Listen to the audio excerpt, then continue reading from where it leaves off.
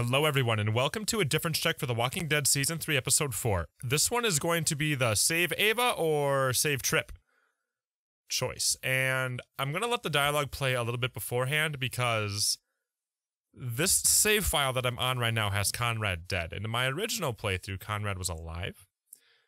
So you're going to see a very different side of Tripp when he's up on stage. So I want to show you guys that. In my original playthrough, I did the Save Tripp option, and then now I'm going to do the save Ava option, and you're going to see a pretty predictable difference. But the dialogue about Conrad, I feel, is what makes it so interesting. Because Conrad shows up and like saves the day, kind of, in my original playthrough. But now here, Tripp's going to have some sharp words towards Javi, which I think is also an interesting part of this whole sequence here. Come on, Javi. Who's it gonna be? And now Tripp is not nice here. Your friend or your brother's lieutenant? I don't think he's. Let me see here. Is he gonna say anything? Oh, come on! This is fucking stupid. You can't be serious. God damn you, Joan. I swear Tripp says some really sharp words towards Javi. Do the right thing, Javi. Maybe he doesn't. How could you do this? Okay, let's do save Ava. Let Ava live. She's always been loyal. Javi! No! Oh, there's the There Javi. I know. Backstabbing, double crossing, no good, dirty fucking murderer. Such language. And now I don't know if he would talk very differently if Conrad was still alive and you picked Ava, but that's just like that's a really interesting part regarding Conrad.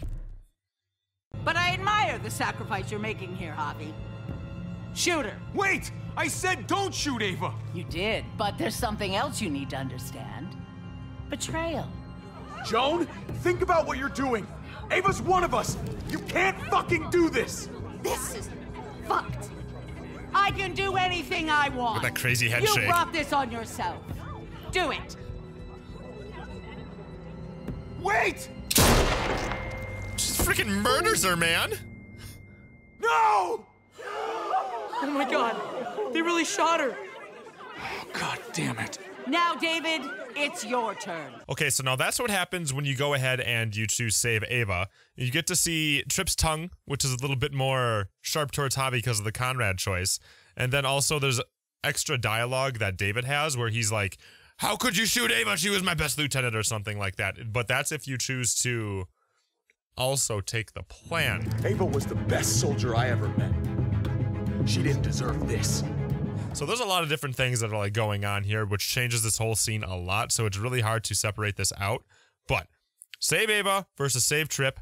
I'm going to show you save Tripp right now, and you get to see a little bit more in terms of how Tripp dies because he doesn't die the same way exactly. He doesn't die to a shot to the head, which is a little more tragic. so here's that. How can you not pick Tripp in this situation? Oh, come on! This is fucking stupid. You can't be serious. God damn you, Joan. The right thing, Javi. How could you do this? Tripp has to live. He's invaluable. Son of a bitch. Javi, what the fuck is wrong with you?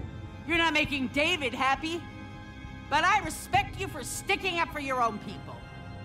Shoot it. Wait! What? I said Tripp should live! You did, but there's something else you need to understand. Betrayal. You can't do this! Fucking figures. I can do anything I want. You brought this on yourself. Do it. No! Wait!